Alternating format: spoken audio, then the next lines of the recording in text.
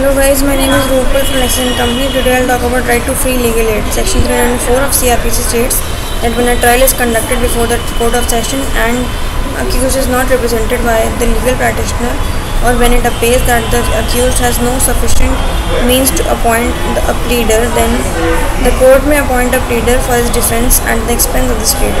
Article 39A obligates a state to provide free legal aid for the purpose of securing justice. This right has also been explicitly given in the case of Khatri of the state of Bihar. So that was it about right to free legal aid. If you have any further comment down below, thank you.